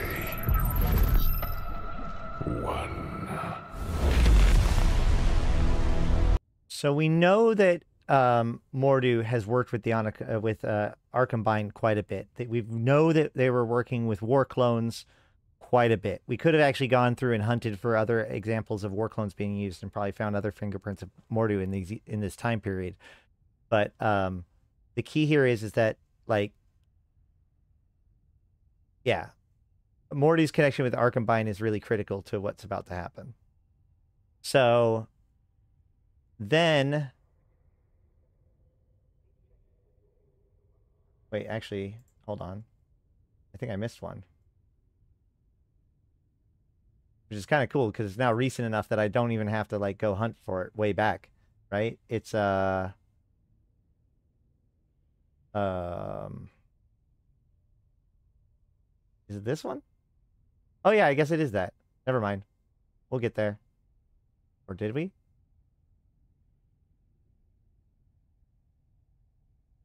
Yeah. I've confused myself. But it's okay. I'm here now. And we're good. Mordu's Legion task.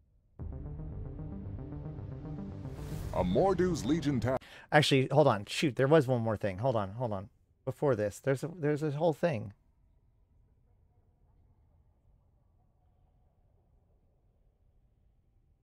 Is it here?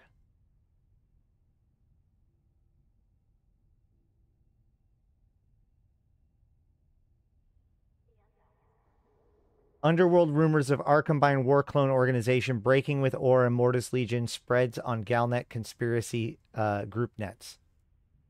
Why didn't that one get pulled up? Oh, I also missed this one. From Caldari Union Day. We have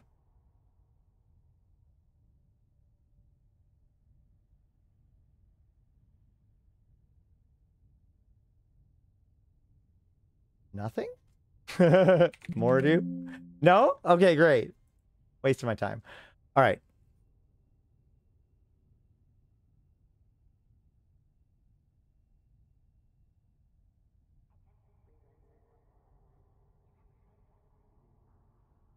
There was one about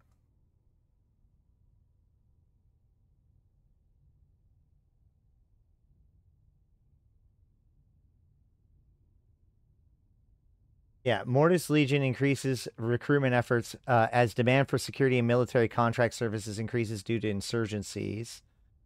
And this is the same one, isn't it?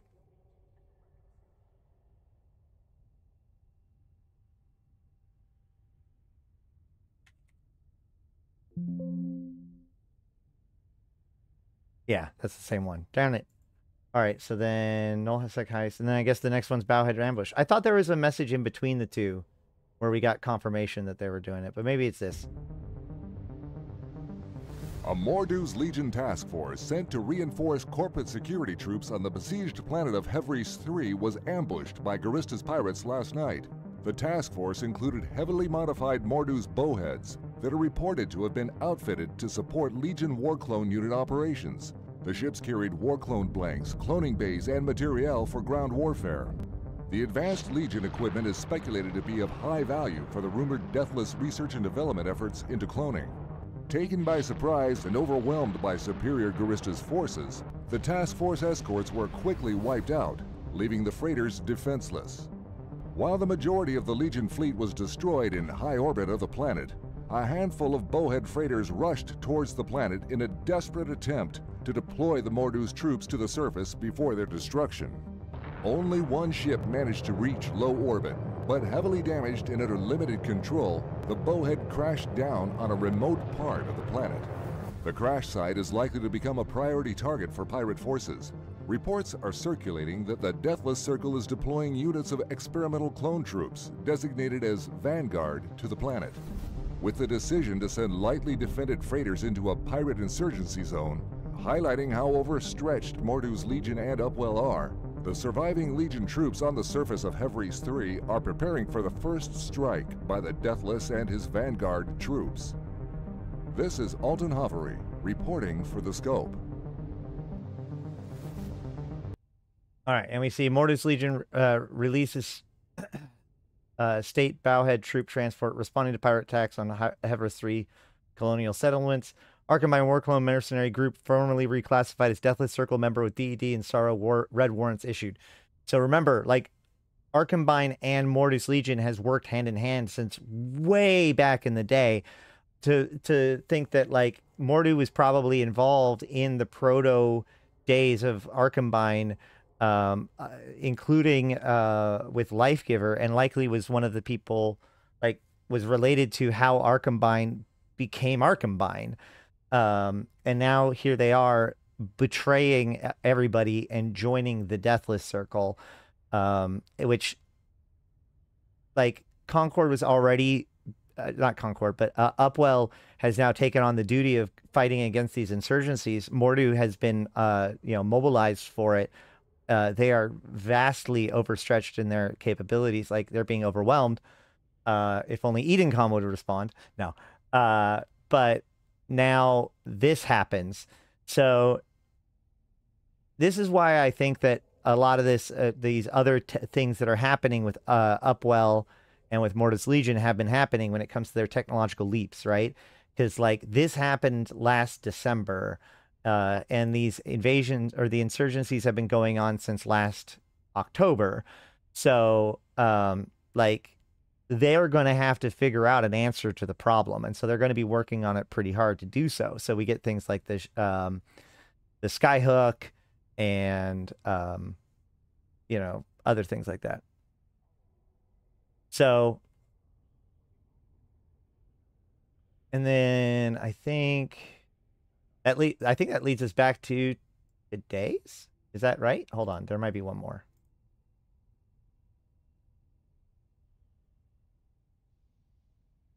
Oh yeah, this is the Chemal Tech convoy. Oh wait, hold on, let's keep going. Evermore accuses NES. Is there anything here? Probably.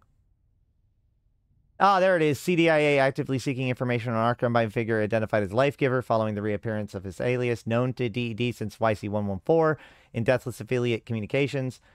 And uh, major investments from an undisclosed organization has been independently reported by Ostracon Agency. We didn't talk about them very much, but that's a Deathless proxy.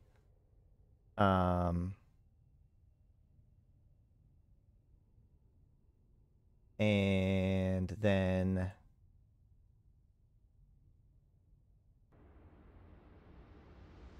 Chemal Tech has suffered the humiliating loss of one of their convoys. Destined for the Intaki Bank Depository in the TXW TAC EI system, the convoy security was critically undermined by a prior intelligence leak that exposed its cargo and itinerary. The decision to carry on with an unchanged plan, regardless of this leak, has now come under heavy scrutiny. From the moment it embarked from the Chemal Tech research station in the Orsolard system, the convoy was followed by hundreds of Capsuleer ships. Centered around the Occator class transport ship Daphne, tasked with ferrying vital equipment and science personnel, the convoy also consisted of a small contingent of escort ships. Potentially overestimating their defensive capabilities or misinterpreting the intentions of the surrounding Capsuleer ships, the convoy started its voyage. The uneventful passage through the initial systems might have bolstered their confidence, but as soon as the convoy left the relative safety of Empire space and jumped into low sec, the convoy came under attack. Chased through low sec by vastly superior forces, the convoy desperately broadcast pleas for support. Needless to say, the convoy's desperate calls for help did not result in their salvation, and within minutes, the outnumbered and outgunned Chemal Tech ships were destroyed one by one. Surviving Chemal Tech geneticists captured by members of the Fraternity Alliance have been threatened with execution if demands made by Fraternity are not met. Following this statement, Chemal Tech has announced the reward of 1 billion ISK for the safe return of each geneticist, emphasizing their commitment to the welfare and safety of their staff. In recent days, Chemal Tech has been plagued by a series of data leaks, including sensitive information recovered from the wrecks of the destroyed convoy. These data fragments have been pieced together by Capsuleers, revealing ties to a secretive cloning project run by the Upwell Consortium, of which both Chemal Tech and the Intaki Bank are members. The specifics of this cloning initiative remain unclear, with Upwell Consortium maintaining silence on the subject. However, the recovered data suggests the project is a feasibility study for a cloning operation of considerable scale. The intended purpose of these clones is the subject of wide speculation. Some observers suggest they might be being developed as a counter to the recent deployment of Vanguard clones by the Deathless, while others speculate that they could form a new workforce or even represent a breakthrough in capsuleer cloning technology. As this story unfolds, the scope promises to deliver ongoing coverage of these developments. This is Alton Haveri reporting for the scope. So this is all pretty recent stuff, so you can go watch my videos with the deep dive on it. Um, but what we're you know we're just realized that like Mordu is part of Upwell, so this is all tied in together. But we also have GRNJ Tech 3 and Space Police Station break in targeted prototype drop suits developed in partnership with Mordu's Legion. So they are directly connected. Um, and it looks like so Intaki Space Police or Mordu is developing the suits, and Chemal Tech is in, uh, developing the clones, etc. And then, is there anything else? Yes, that leads to today, where, um, well, actually, I will say that like the uh, scientists uh, did get returned for a billion ISK, and then of course the one or two got sent to the deathless side. But I think that just about covers it for the history of uh, the, where we're at with Mordu. We're gonna have to wait and see uh, where this is going next, but I hope that through this um, kind of look back in the past, especially yesterday, kind of piecing together the threads to allow us to understand what's going on a little bit better and realize that, like, you know, some of these relationships go deep. Some of these things have kind of happened before. And one of the things that got me th- that I got thinking about while doing all of this is I'm starting to question the honor of Mordu's Legion. And you know, Mordu is getting ex- is eccentric and, you know, unpredictable and all that stuff. But like between the Sisters of Eve convoy, the uh the ore convoys that was uh back in the day uh you know they didn't end their contract they just didn't show up and bad things happened right? And then with like Intaki and Caldari Prime it's like shit happens and right as they're pulling out. And it's not like it the, sh- the shit led to them pulling out but like it seems really odd that they don't seem to end their contracts on a high note you know? They they are one of the most effective military organizations or mercenary organizations in the cluster and yet most of their former contracts ended in um, under conditions that aren't necessarily great. So it makes me wonder what's going where we're going with all of this. Mordu is uh you know has his own motivations he may feel like he's playing 4d chess he probably does uh and i don't know where that necessarily leads us. It's only happened twice since november. What? Uh, oh yeah. The corruption um no. Wait I think they didn't they prevent yeah, they prevented uh the cutoff between Amarr and uh Caldari right now. Like they succeeded. The the um Oh, actually that's a good point. If you guys uh I did want to point out something before we wrap things up. Actually, well, I'll say that I'll I'll wrap this part up first. But that about covers it for the Mordu. I really would like to uh to ask you guys, do you guys agree with my suspicions about Mordu? How do you guys feel about Mordu's Legion? Um, did you learn anything? Did I miss anything? And uh, please make sure to go back and watch the other one because that's the bulk of the information. Uh, but if you're watching this live, go ahead and hang out. But otherwise, I've been Ashterothi. Thank you guys for watching. Thank you all for checking it out and all of the supporters. But I've been Ashterothi.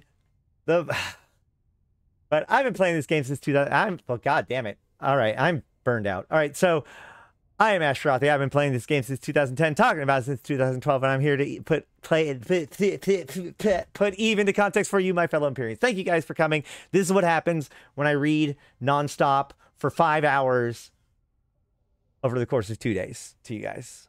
I made it though. We made it. We made it. Thank you guys for coming. Until next time, I'll see you in space. Stay here. Stay here. How's it going, guys? I'm gonna. Uh, we can talk for a couple more minutes. I'm probably. I am gonna probably be taking off soon because, woo. I knew that going into Mordu's Legion was going to be a big effort, but woo. Oh yeah. So those of you who are here because you're live, you're here. Only 14 years. what a youngster. Thanks, Satonia.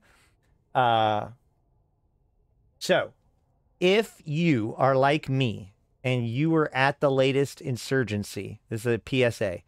If you were at the latest insurgency and like you didn't want to go, you didn't want to dock up in a station and you didn't want to leave it in the uh, fob or the, yeah, the fob to get blown up and, and asset safety, uh, this structure, this free port right here, was here. If you put your stuff in here, I got a warning this morning. Your structures are at risk.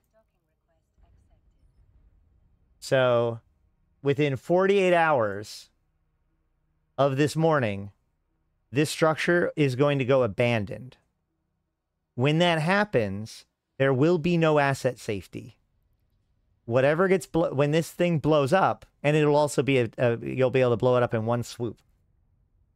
When that happens, um, everything that's inside of this structure will drop in cans. Everything will drop in cans.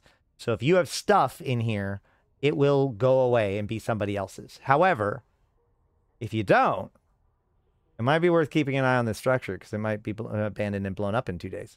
Oh shit! Can't see this.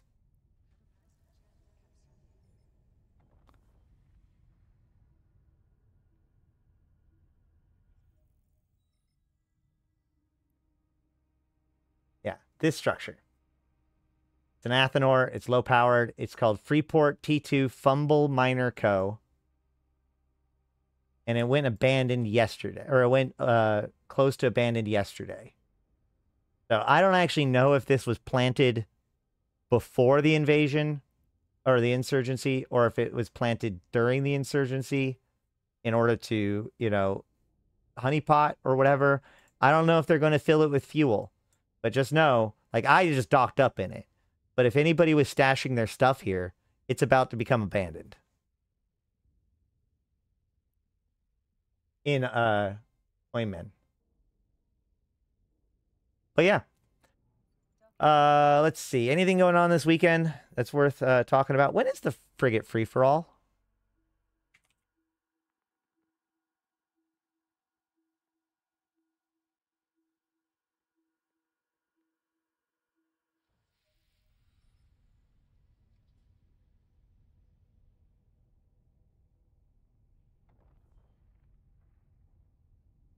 April 20th.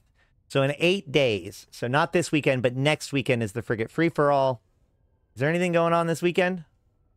I don't know. Take a break.